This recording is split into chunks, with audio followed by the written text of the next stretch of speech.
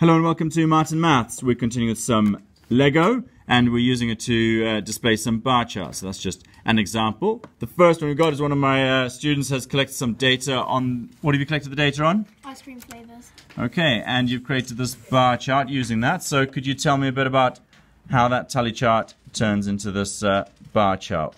What does this Um, represent? This one's vanilla, this one's salted caramel, this one's chocolate, this one's strawberry, and this one's mint chocolate chip. Okay, so you've used uh, a 4 by 2 block to represent strawberry. So uh, is that each block of 4 is one person? Great, fantastic. So that's uh, some ice cream flavors. Uh, the next student has chosen to collect some data on favorite color, which is nice because then uh, you can see there's one, two, three, four. And again, use the same scale. So a, block of four is one person. One, two, one, two, three, four. Four for yellow, one for red, two for green, and one for black. Brilliant, thank you.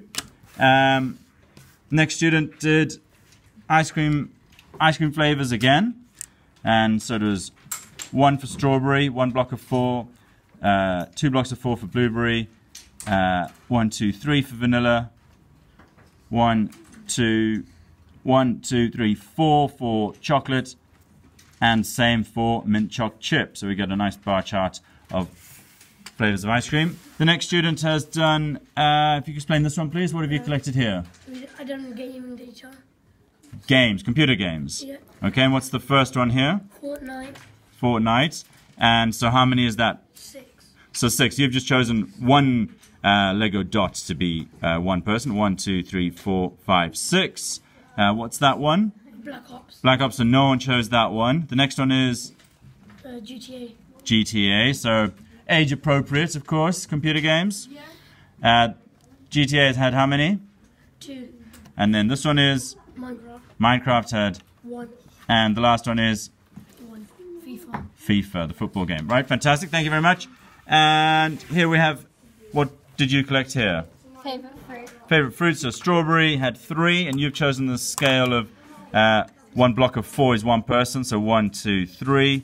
Uh, oranges, how many people had chose orange? Seven.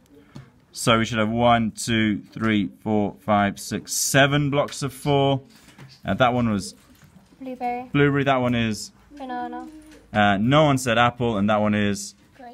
Fantastic. And my last student has created this bar chart from this data on favorite food. So pizza was four. Again, they've just chosen one dot. One, two, three, four.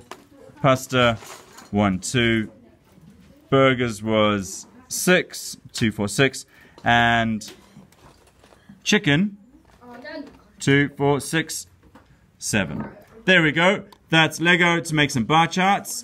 Thanks for watching. Don't forget to. Like and subscribe. Thanks for watching. Bye. Cheers.